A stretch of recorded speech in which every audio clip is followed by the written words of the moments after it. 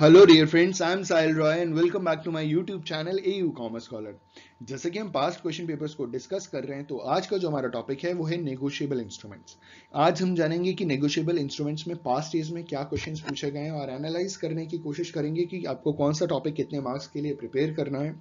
ठीक है तो शुरुआत करते हैं नेगोशिएबल इंस्ट्रूमेंट की। पहला क्वेश्चन दो बार पूछा गया, एक 1996 और दूसरी बार 1997 में फॉर 10 मार्क्स और क्वेश्चन है। What is negotiation explain negotiable instrument में नेगोशिएशन क्या होता है, उसे आपको एक्सप्लेन करना है। अगला क्वेश्चन 1995 2001 और 2002 में पूछा गया है for 20 marks 10 marks and 20 marks question है what is a negotiable instrument what are its essential characteristics तो इसे आप 20 मार्क्स के लिए आँख बंद करके तैयार कर लीजिए। नहीं, आँख खोल के ही तैयार कीजिएगा, बंद करके कैसे होगा? ठीक है? अच्छी तरीके से तैयार कर लीजिए, कुछ सोचना ही नहीं है कि नेगोशिएबल इंस्ट्रूमेंट होता क्या, और उसके एसेंशियल कैरेक्टरिस्टिक्स फीचर्स नेचर्स जो भी है, पूरा का पूरा अच्छी तरीके से तैयार कर लीजिए। ठीक है?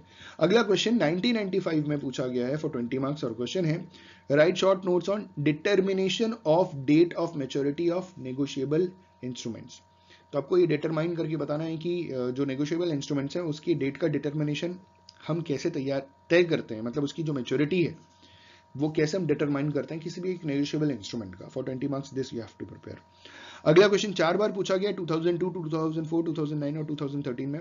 और ये देखिए बार बार ये 20 मार्क्स के लिए सेम क्वेश्चन पूछा गया और क्वेश्चन है।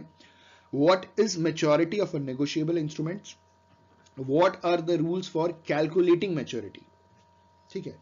तो दो पार्ट में डिवाइडेड है। पहला 10 मार्क्स के लिए, दूसरा 10 मार्क्स के लिए आप प्रिपेयर कर लीजिए। अगला क्वेश्चन 1997, 2006, 2009, 2014 में पूछा गया। क्वेश्चन 5 मार्क्स 5 मार्क्स और 20 मार्क्स 20 मार्क्स सेम क्वेश्चन बस मार्क्स चेंज कर देते हैं तो उस हिसाब से आपको कंटेंट भी चेंज करना पड़ता है। क्वेश्चन है what is negotiable instrument what are its various kinds तो ये तो बहुत ही इंपॉर्टेंट है ये तो आपको अच्छी तरीके से तैयार करना है कि क्या अलग अलग टाइप्स के नेगोशिएबल इंस्ट्रूमेंट्स होते हैं। ठीक है? अगला क्वेश्चन 2003 में पूछा गया फॉर 10 मार्क्स और क्वेश्चन है what is meant by holder in due course for 10 marks ठीक है? अगला क्वेश्चन 2006 2009 और 2014 तीन बार पूछा गया 10 मार्क्स के लिए और question again same holder in due course वाले ही ये क्वेश्चन रिपीट किया गया है। What do you understand by holder in due course तो ये आप तैयार कर लीजिए फॉर 10 मार्क्स अगला क्वेश्चन 2000 में पूछा गया है what do you understand by holder in due course for 20 marks अब आप देख रहे हैं सेम क्वेश्चन 20 मार्क्स के लिए पूछा गया था 2000 में, आज से 20 साल पहले।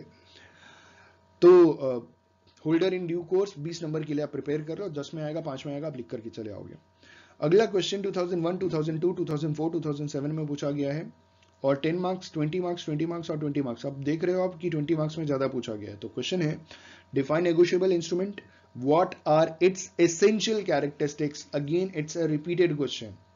ठीक है उसके कैरेक्टरिस्टिक्स uh, आपको नेगोशिएबल इंस्ट्रूमेंट होता क्या है और उसके कैरेक्टरिस्टिक्स क्या होते हैं ये आपको बताने हैं फॉर 20 मार्क्स अगला क्वेश्चन 2005 में पूछा गया है फॉर 10 मार्क्स और क्वेश्चन है distinguish between holder and holder in due course ये बहुत ही इंपॉर्टेंट क्वेश्चन है।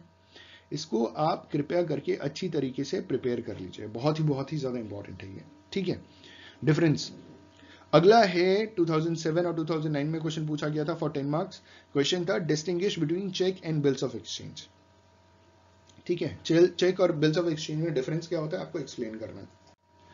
अगला क्वेश्चन 2008 में पूछा गया है फॉर फाइव मार्क्स और क्वेश्चन है what is negotiable instrument said to be dishonored? Sorry sorry sorry. When is a negotiable instrument said to be dishonored? तो नेगोशिएबल इंस्ट्रूमेंट डिसऑनर कब होता है? पाँच नंबर के लिए प्रिपेयर कर लीजिए अच्छी तरीके से। अगला क्वेश्चन 1995 में पूछा गया है। फॉर फाइव मार्क्स और क्वेश्चन है determination of date of maturity of negotiable instruments तो आप ये डिटरमाइन कर सकते हैं मतलब ये सेम क्वेश्चन है रिपीटेड क्वेश्चन है।